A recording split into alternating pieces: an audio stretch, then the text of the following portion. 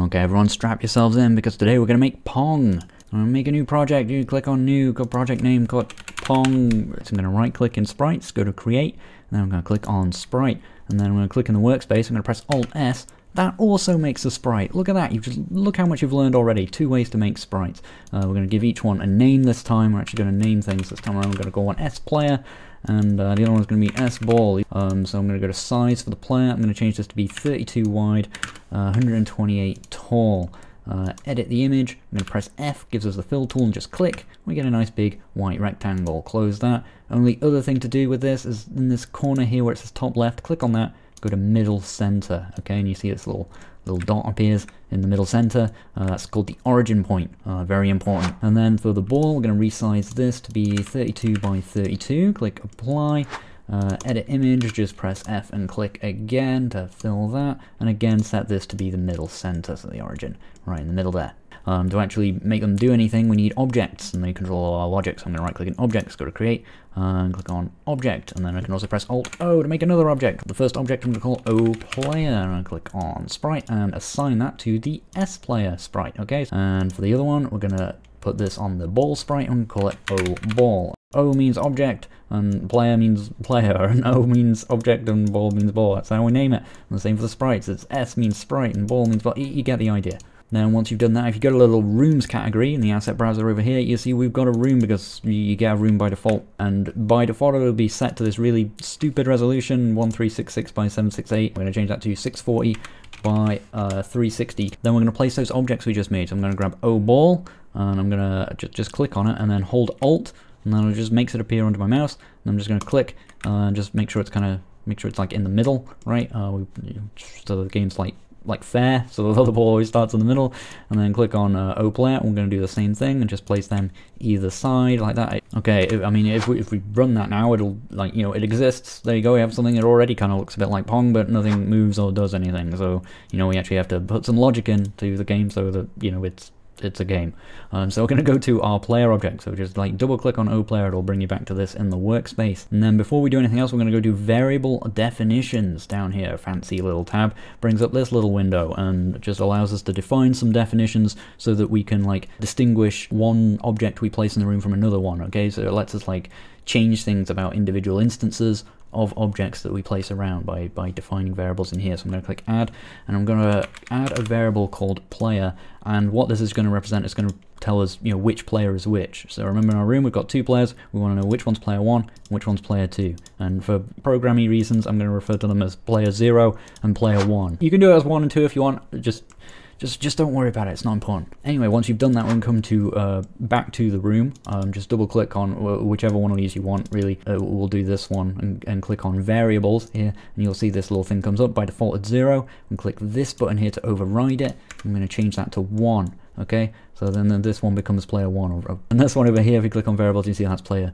0, okay? Player ID 0 and player ID 1, the way to think about it, alright? Alright, then we're going to go back to uh, O player over here, and we're going to add uh, an event, okay? An event is just something that happens, okay? When you add an event, that's a thing happening, and then in your game, like, this object's just got made for the first time, it's been created, what should we do then? And then we, we put stuff in here to tell the game what to do when these things happen. That's how it works. That's that's how logic works in Game Maker. Events go off, and then you do actions based on them. All right, that's that's that's pretty much all there is to it. Now there's stuff everywhere. It's getting kind of messy because I'm going really fast. I'm going to click make a new workspace, click close all but this, uh, press F12 just to sort of you know really give us loads of space. We'll bring back the asset browser, click on O Player, just so we just have this to look at for a second, just so it's a bit Anyway, like I said, uh, when the create event happens, that's just when when this when an instance of O player has just been made. All right, so the very start of our game, there's going to be uh, two players getting made. All right, and, and when that happens, we we can have stuff happen. All I want to happen is I'm going to set a variable called SPD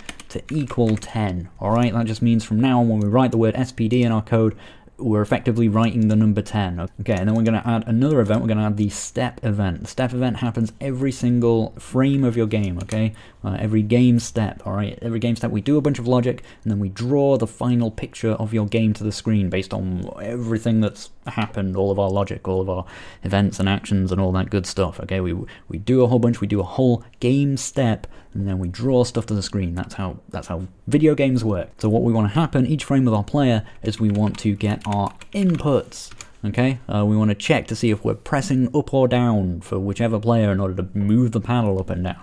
But uh, it depends what player, right? So um, if it's player ID 0, first of all, so I'm going to write if, open bracket, player equals equals 0, alright? And I'm going to open and close a pair of these weird curly brace symbols. And uh, by opening a pair of these, what we do is we ask GameMaker the question. We say, is player, that variable that we defined in our variable definitions, does that equal zero? Yes, we write two equal signs when we're asking a question like this. It's just, just how it works. Okay, and then if that's true, we do whatever we write in here. And if it's not true, we don't do it. And what we do if it is true is we're going to set another variable called move to equal keyboard check uh, vk down minus keyboard check uh, vk uh, I can't type vk up now it's like, oh, oh my god, there's so much code. I lost me. I don't understand. Right. Well, again, what we're doing is we're setting this word to just mean a thing, and what it's going to mean is the result of um, a, a, couple of of a little bit of maths basically. Uh, we, by writing this this here is going to give us a 1 or a 0 depending on whether or not we're pressing the down key. And this will give us a 1 or a 0 depending whether or not we're pressing the up key. Therefore by subtracting the second one from the first one uh, what that means is move is going to end up either equaling 1 if we're trying to move down uh, minus 1 if we're trying to move up, and it'll equal 0 if we're either pressing both keys or neither key. Alright, it's just handy because it means it covers the case of us pressing both keys. Anyway, now we've written that, we need to know the inputs for the other player, so we're going to write if uh, player equals uh, 1 instead, so if it's player ID 1, or rather, you know, player 2 or whatever in this instance, I'm just going to copy this line of code here, um, obviously we can't use the same keys, uh, so I'm going to change VK down to be ord in bracket um, quotation mark uh, S uh, quotation mark close bracket. All right. And this weird little command here I don't know why it's called ord. I don't actually know what that stands for but that just gets like the key code of a particular key. Again how did I know that? Well it's because I you know I, I, wanted to know how that works. I read the keyboard section of the manual and it told me. Right. That's how I worked that out. And then I copy that. I'm going to paste it into here and I'm going to change that S to a W. Anyway uh, now we know um, whether or not we're trying to move up or down right? It's stored in here. It'll be 1 if we want to move down or it's going to be minus 1 if we want to move up, or 0 if we don't at all. So what do we do with that? Well, we move our y coordinate, 2D space. X is like your horizontal position, y is vertical. So we're going to do y equals uh, itself, so whatever it is currently, plus um, open bracket move times uh, SPD. You remember SPD from our create event, it, equal, it means 10, right? So that's just our speed. So we're going to move 10 either um, downwards, uh, as, as you increase in y, you go further downwards, or we're going to times it by minus 1 if we're going up, so minus 10, so that'll reduce our y, and we'll go in the other direction. If you just like run the game now, um, you'll be able to do it. You, look, there we go. We've got like half of Pong, like already. Like, that's the controls. You might have noticed we can like go off the screen uh, with that. It's obviously not ideal. I'm just going to fix that real quick. I'm just going to copy and paste in some like a bit of code that just fixes that. Um, because I don't want to have to go into what all these things mean. Again, like another thing you can do with code, by the way, you can middle click on a thing and it'll actually bring up the manual on that thing. Very, very useful while you're, you're trying to learn stuff. And then if we run that just to show you real quick, um, I can't move off the top or the bottom of the screen anymore on either player. Alright, so now we just got to deal with the ball. So let's uh, close that, we'll double click on O ball, and uh, we don't have anything in O ball. We're going to add the create event first of all, and uh, I'm going to give, uh, we're going to assign the H speed of the ball. You see that turns green, it's another built-in thing of the, the instance, right? Um, so what H speed is, is it's just like horizontal speed. If you set any number in here, it'll just be a horizontal speed. It's just like the amount that this object will just tr travel like forever along the x-axis, right? So we want it to either like just move to the right by 10 or, or move the other way by 10 to start with. So I'm just going to write choose open bracket 10 uh, minus 10. What that does is it's just going to pick randomly between uh, these two things. If we run the game now, we'll, we'll see that happens. It's like, whoa, see, like it moved to the to the right that time. If I run it again, oh, it moves to the right that time. Oh, actually, we, we didn't do randomize, actually. Oh, I'm going to type randomize over here. That just, like, randomizes the internal random seed. That just means it can actually, like, give us a, a random result. Uh, every time. So yeah, you can see it's actually different. Then we're gonna add uh, the step event. Okay, again, this is the thing that happens every single frame. First of all, I'm gonna make sure if it touches the top or bottom of the screen that it um like bounces and goes the other way. So I'm gonna say if bbox underscore bottom greater than room underscore height. Okay, so if the bottom of our bounding box would go off the bottom of the screen, or open bracket uh, bbox top, I'm just going to full screen this so we can kind of see what we're doing. Uh, if bbox top, so the top of our bounding box would go below zero, um, and so if either of these things are true, right, so if either one of these things is about to be true, we're going to take our vertical speed, our v speed, uh, and we're going to set it to minus itself.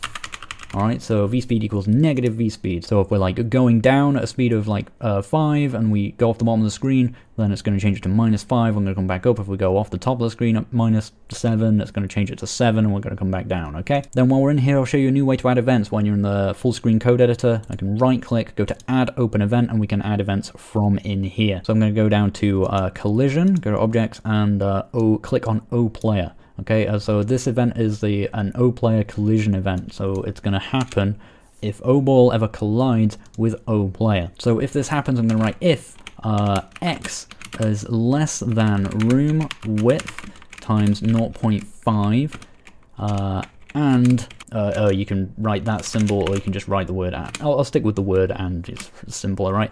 Uh, and h speed uh, less than or equal to zero. And then I'm going to write or underneath this. So or x is greater than room width times uh, 0.5 and h speed is greater than or equal to zero. So if all this is true, which means you know our, uh, we're on the left hand side of the screen uh, moving to the left, or uh, all this is true, which means we're on the right hand side of the screen and we're moving to the right. That means all we need to do uh, is flip our horizontal speed. We just take h speed um, equals uh, minus h speed.